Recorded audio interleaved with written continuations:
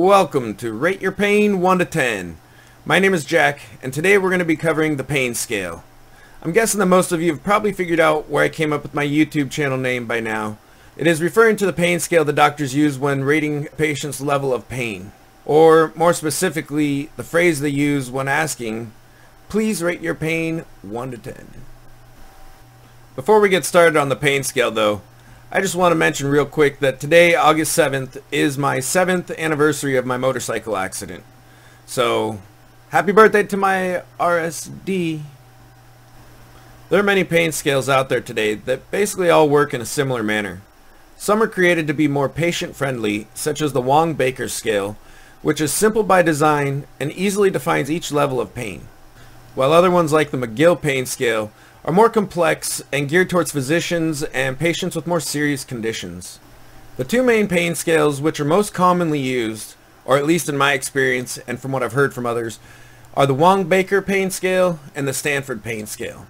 I will be giving the definitions of each level of pain according to the Stanford pain scale, as well as I'll be showing each of the five faces in the Wong-Baker pain scale as we go along. Both scales are rated 0 through 10, 0 meaning no pain at all, and 10 being the worst possible pain you could ever experience. As I mentioned before, there are five faces in the Wong-Baker scale to help depict each level of pain for those who are more visual rather than rating by numbers. In the Stanford pain scale, levels 1 through 10 are broken into three different categories, minor, moderate, and severe. Levels 1 to 3 are in the green zone and considered to be minor or mild pain while levels 4 through 6 are in the yellow zone and considered moderate pain. Levels 7 through 10 are in the red zone and deemed as severe pain. Let's break them all down one by one and face by face, starting with the green zone, aka minor pain. We're going to completely skip past level 0 because as I mentioned before, 0 means absolutely no pain at all, so I think that's a pretty obvious one. Alright, let's get started with number 1. Number one, very mild. According to the Stanford Pain Scale, this is very light and barely noticeable pain, like a mosquito bite or a poison ivy itch. Most of the time, you never even really think about the pain. Number two, discomforting.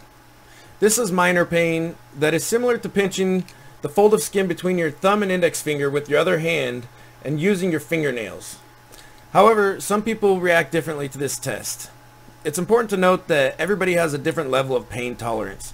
What hurts for most may not hurt for some, and vice versa. Number 3. Tolerable. This is very noticeable pain, such as a doctor giving you an injection or inserting an IV. It can also be an accidental cut or blow to the nose, causing a bloody nose. I know that last example might seem like it's a little bit off for this level of pain, but if you really think about it, that type of pain experienced in your nose is more uncomfortable and more of like a stinging pain than it truly is painful. On to the yellow zone, the moderate levels of pain. This is where the real pain begins. Number 4. Distressing. This is a strong, deep pain like an average toothache. It is so strong that you notice the pain all the time and you cannot completely adapt to it. Another example is the initial pain from a bee sting or minor trauma to part of the body, such as when you stub your toe really hard.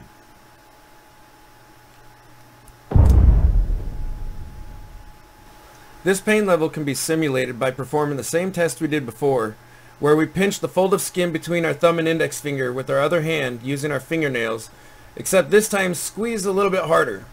Notice how the pain is piercing at first, but then becomes more dull afterwards. Number 5. Very distressing. This is strong, deep, piercing pain, such as a sprained ankle when you stand on it wrong, or mild back pain. Not only do you notice the pain all the time, you are now so preoccupied with managing it that your normal lifestyle is curtailed. Temporary personality disorders are also frequent, meaning you'll be more prone to mood swings, irritability, and a short temper. Number 6. Intense. Comparable to a bad non-migraine headache, combined with several bee stings, or bad back pain. This is strong, deep, piercing pain, so strong it seems to partially dominate your senses, causing you to think somewhat unclearly. At this point, you begin to have trouble holding a job or maintaining normal social relationships. This would probably be the lower end of the scale for CRPS pain. Most of us have a hard time maintaining jobs, if we can even keep one, and relationships seem to dwindle fast when you have CRPS. I always say that it weeds out your true friends from your so-called friends. This is a very hard thing to experience because we like to believe that we have a lot of friends in life, and maybe we do, but in the end the number of real friends who will stay by your side no matter what are few and far between. Alright, it's time to get serious here with our final category sitting in the dreaded red zone, severe, where the pain gets real. Number 7, very intense. Comparable to an average migraine headache. Same as number 6, except the pain completely dominates your senses, causing you to think unclearly about half the time.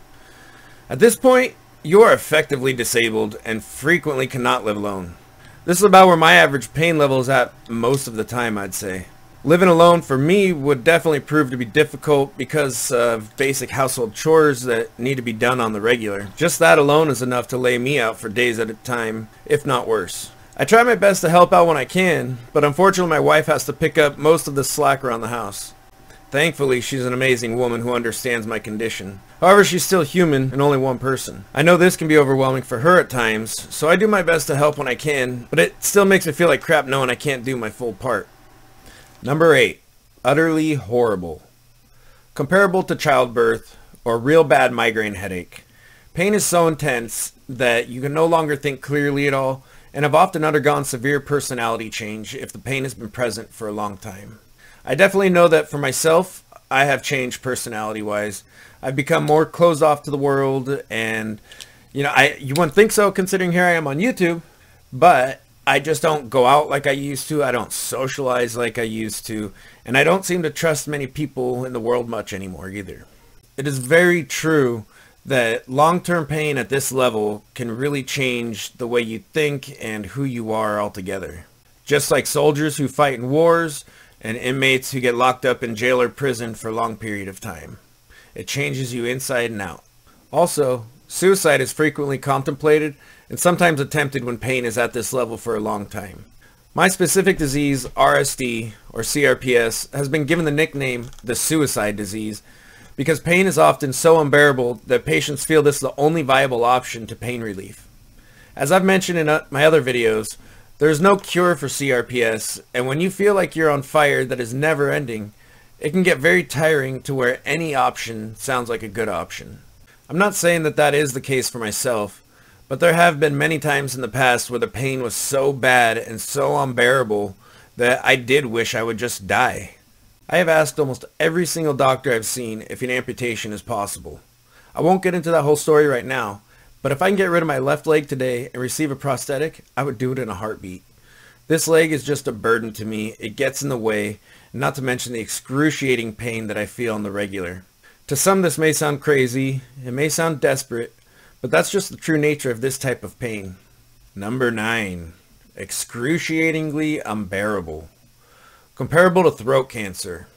Pain is so intense you cannot tolerate it and demand painkillers or surgery no matter what the risk or side effects may be. If that doesn't work, suicide is frequent since there is no more joy in life whatsoever. And like we were talking about number 8, maybe I wasn't demanding an amputation, but I sure was asking for it left and right.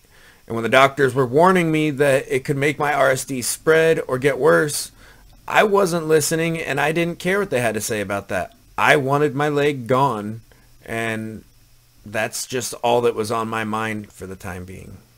Number 10, unimaginable, unspeakable. Pain is so intense that you'll go unconscious shortly. Most people have never experienced this level of pain. Those who have suffered a severe accident, such as a crushed hand, lost consciousness as a result of pain and not the blood loss, have experienced a level 10 pain. When I got into my motorcycle accident, I'm not sure if I mentioned this in the video about it or not, but that instant that my bone snapped, I did black out for a brief moment. I wouldn't say I fully passed out per se, but just blacked out for that quick brief moment when the bone actually broke off. Because the next thing I remember is sliding across the road. I don't remember hitting the road or the impact of it. I just remember hearing my helmet scraping and feeling the vibrations of it. That's when shock set in, of course, and helped me cope with the pain the rest of the way. The body works in amazing ways when we're beyond our normal mental and or physical capacity. We are definitely the most fascinating machines ever created by far. Here's an important side note or piece of advice for you when your doctor asks you what your pain level is. Do not exaggerate your pain level by giving a number that is higher than the actual scale's max number. For example, if we are using the standard 1 to 10 scale, don't say 11 or 12 because 10 is already the worst imaginable pain there is. Basically, you're already knocking on death's door if you're at a 10. So when you say a number like 11, when they just said 1 through 10, the doctor isn't going to take you seriously as he or she thinks you are prone to exaggeration. So really think about where your pain lies and answer correctly. Anyways, there you have it folks, the pain scale. Hopefully the next time your doctor asks you to give your pain rating, this video will help you to provide a more accurate answer for them. What level do you rate your pain? Make sure to tell us in the comments below. Please remember to like, subscribe, hit that notification bell if you want to be alerted as soon as my next video is uploaded. Thanks for watching folks and see you next time. Peace. You'll have to fight for prepare for